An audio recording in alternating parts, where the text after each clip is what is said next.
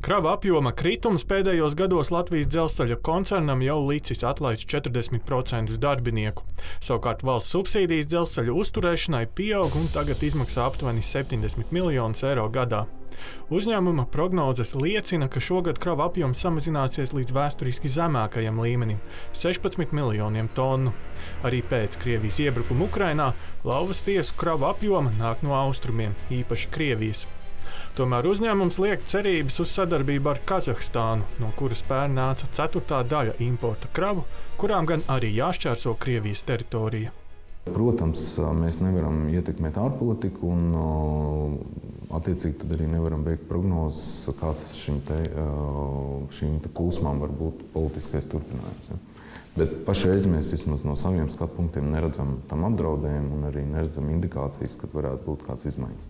Latvijas dzelzceļa pagaidu vadītājs Rināls Pļavnieks stāsta, ja kravas no austrumiem apstātos pilnībā, no valsts budžeta dzelzceļa uzturēšanai vajadzētu vēl par 50 līdz 60 miljoniem eiro vairāk. Galvenās iespējas ietaupīt koncerns jau esot izsmēlis. Tagad apsvērta tiek trīs meitas uzņēmuma apvienošana, kas gan būtiskus ietaupījumus nesola.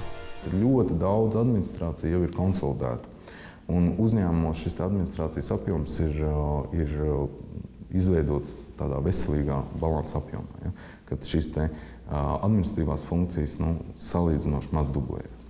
Līdz ar to šeit arī tas ieguvums nebūtu tik augsts. Pagājušā gada pēdējā valdības sēdē ministru kabinets Latvijas dzelzceļam piešķīra 30 miljonus eiro zaudējumu un sociālo iemaksu parādu sekšanai. Taču vienlaikus uzdeva arī satiksmes ministrijai izstrādāt ziņojumu ar scenārijiem, kā izmaksas samazināt.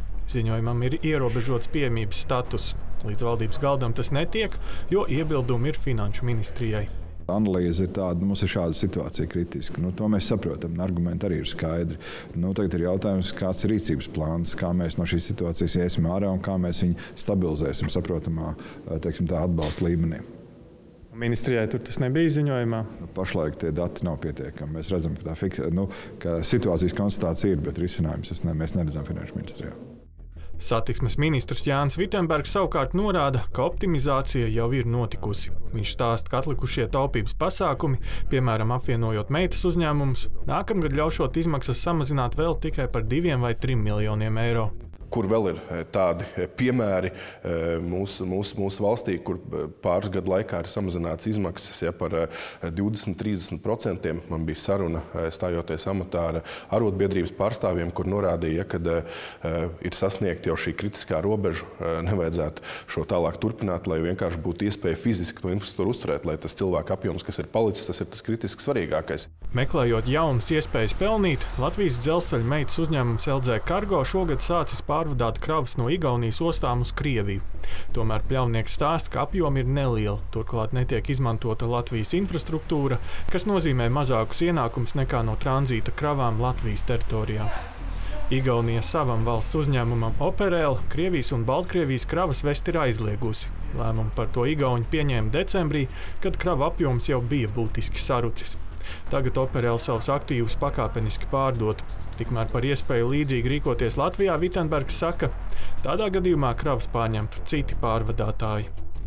Ja runājam Igaunijas eh, piemērs, tad arī tāpat viņiem ir eh, privāti pārvadātāji, kuri, kuri ved, šīs, eh, ved šīs kravas. Arī Latvijā ir LZ Cargo, ir citi arī, arī spēlētāji, ja, un arī Lietuvā tādi ir. Ja, tā ka, ja būtu varbūt arī kāds lokāls lēmums arī nu, aizliegt nezinu, to darīt LZ Cargo, tad nu, nav, nav izslēgts, ka to darīs citi komersanti, kur strādā Baltijā.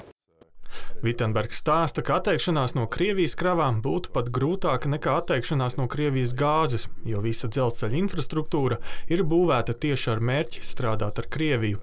Situāciju mainīt varot vienīgi Rail Baltica projekts. Paļaušanos uz ienākumiem no Krievijas, ar ko uzturēt dzelzceļu, par papildu drošības risku sauc Austrum Eiropas politikas pētījuma centra valdes loceklis Mārcis Balodis. Tā aizvien ir ietekmes svira Kremļa rokās. Šī ekonomiskā sadarbība, kas no mūsu puses šķiet pilnīgi apolitiska un, un pavisam vienkārši kā biznesa tikai. Eh, Krievija tomēr raugās uz pilnīgi jebkādiem jautājumiem, jebkādiem aspektiem, eh, teiksim, caur ārpolitiku, par to, kā ekonomiskās intereses var, var tikt izmantotas, lai, lai veicinātu savu politiku, lai, savu, lai atbalstītu savu um, teiksim, līdzīgi domājošus teiksim, politiskos spēkus un, respektīvi, lai to pārvērstu savu uh, politiskajā kapitālā. Rakstiskā komentārā uz riskiem sadarbībā ar Krieviju norādīja arī valsts drošības dienests. Savā gada pārskatā dienests arī uzsver, ka Krievija nav ieinteresēta pieļaut Centrālā Azijas kravu nonākšanu rietumos caur savu teritoriju. Kravas varot tikt izmantotas, lai apietu sankcijas. Pārmērīga paļaušanās uz ienākumiem no Krievijas un Baltkrievijas kravu tranzīta ir saistīta ar riskiem Latvijas ekonomiskajai drošībai. Pat labam, ņemot vērā pret agresoru valsti Krieviju un tās tuvāko sabiedroto Baltkrieviju noteiktos dažādu preču un izēju materiālu importu un eksporta ierobežojumus, Krievijas un Baltkrievijas kravu pārvadāšana caur Latviju ir saistīta ar augstiem sankciju pārkāpumu riskiem. VDD rīcībā ir informācija par mēģinājumiem izmantot Kazahstānu un citas Centrālā Azijas valstis, lai apietu pret Krieviju un Baltkrieviju noteiktās sankcijas, slēpjot kravu izcelsmi.